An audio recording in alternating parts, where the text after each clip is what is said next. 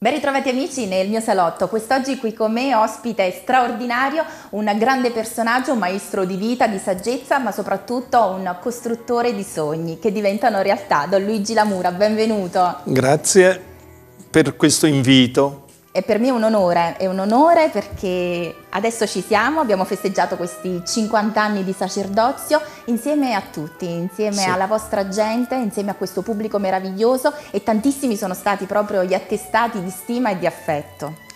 E non poteva essere diversamente, certe eh, ricorrenze non hanno eh, celebrazione di solitudine, soprattutto per il prete, ma di coralità nella comunità. E questo l'ho potuto constatare proprio il giorno 6 luglio 2019, dove il pensiero con voli pindarici di reminiscenze, di libertà e di senso della vita è andata alla mia ordinazione sacerdotale. Mentre quel giorno c'era la mia famiglia, c'era il popolo di Piazza Annunziata, la parrocchia dove sono cresciuto, dove sono stato battezzato, dove sono stato ordinato.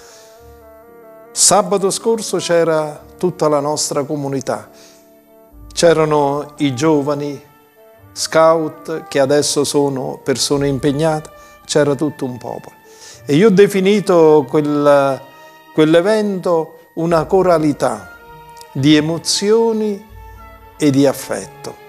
Ecco, qual è stata l'emozione più bella nel vedere eh, tutta quella gente con grande partecipazione? Perché tutti erano emozionati, dai più piccoli ai più grandi. L'emozione è contagiosa. Penso che sia stata la causa di questo contagio, perché ero io emozionato, nel senso che vedevo gli sguardi di tante persone sulla mia persona e mi sentivo piccolo piccolo e leggevo nelle loro emozioni le attese che hanno per un prete, la riconoscenza che hanno per uno che per tanti anni è vissuto in mezzo a loro, ha educato generazioni di giovani, sia in associazione, ha indirizzato verso le scelte culturali tanti di loro. Per cui le emozioni sono ricordi, sono eh, quella linfa della vita che la veste non di reminiscenze nostalgiche, ma di vivezza di vita. Per cui eh, il ricordo con l'emozione è un ricordo che ha il calore di un abbraccio. E infatti c'è stato anche l'abbraccio anche di chi non c'è più in quella giornata e questo si è vissuto proprio su quel palco, in quel momento, accanto anche al cardinale Filoni e c'è stata la benedizione anche papale. Sì. E senz'altro l'amico cardinale con cui abbiamo condiviso in quella stagione in cui la mente sognava e il cuore batteva, eh, ha voluto con la sua presenza eh, significare affetto amicizie, non ci sono né ruoli gerarchici, ma c'era semplicemente l'affetto. E insieme a lui sono venuti anche i miei amici di, di sempre. De, di sempre da Viterbo, da Gallipoli, con cui abbiamo condiviso gli studi teologici ed è stato veramente insieme agli altri confratelli una armonia eh, di vita, un'armonia di ricordo. E io sto qui proprio per poter ringraziare eh, quanti sui social, secondo quando tu mi hai detto Brigitte, hanno voluto esprimere eh, la loro partecipazione. Infatti tantissimi sono stati i messaggi e sì. ovviamente eh, era giusto anche insomma, condividerlo adesso con tutti. Questo, Io questo non sono social, ma non disprezzo minimamente questa tecnologia moderna e comunicativa, di grande efficienza comunicativa.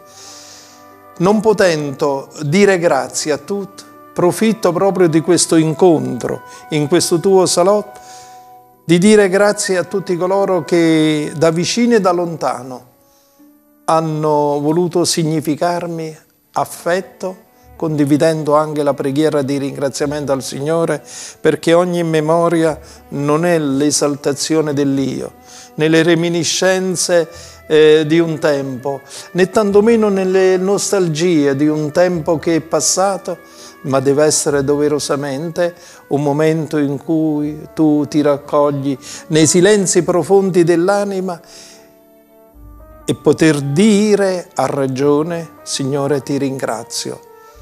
Poi il tempo scorre, non dico veloce, scorre e ritma i, eh, la tua esistenza.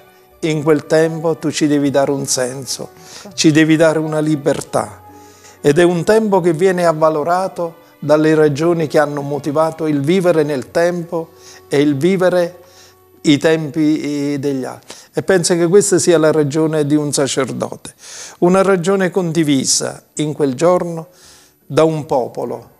Non dico osannante perché gli evvive e, e gli osanna non vestono il mio stile, ma il silenzio, l'affetto, l'abbraccio, lo sguardo dei bambini, il canto dei giovani, la gioia, la gioia perché la religione è epifania di gioia, è il nostro Dio, è il Dio della vita, è il Dio che ci abbraccia, è il Dio che eh, ci accarezza e ci, fa, e ci veste della sua infinita misericordia nei verbi difettivi del nostro esistere e quindi noi continuiamo sempre a sognare perché ci sono stati dei sogni che eh, si sono realizzati però non finisce qua perché ovviamente c'è ancora qualcosa di grande da realizzare. Sì.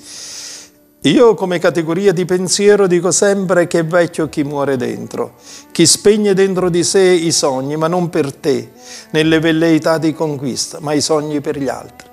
E per un prete i sogni sono i giovani, cioè l'educazione, la formazione.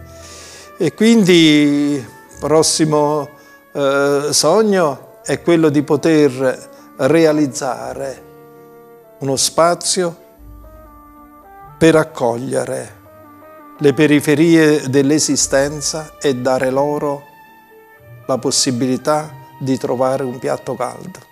Ecco, questa è la cosa più bella, importante, quindi noi ci salutiamo ma ci ritroviamo perché tante saranno le iniziative e poi ovviamente continuiamo sempre a ringraziare. Ma in queste, eh, in queste, iniziative, come quando ho sognato di realizzare quella chiesa, non c'è mai la paternità, c'è la compaternità. Le, gran, le opere di Dio non hanno l'io, hanno il noi. E, questo, ecco, e a voi tutti che avete voluto significarmi l'affetto, la stima, la preghiera, io dico grazie proprio mediante questo mezzo di comunicazione che possa arrivare la mia gratitudine, la mia riconoscenza ai vostri cuori in un abbraccio di gioia e di speranza, in una armonia e sinfonia di sogni per i giovani di oggi e di domani. Io vi faccio ancora tanti auguri e soprattutto vi ringrazio a nome di tutti per l'amore, l'affetto e soprattutto per quella grande gioia che ci avete regalato in tutti questi anni. Che il Signore conservi sempre in un prete l'entusiasmo e la libertà. Grazie e noi ci ritroviamo alla prossima puntata.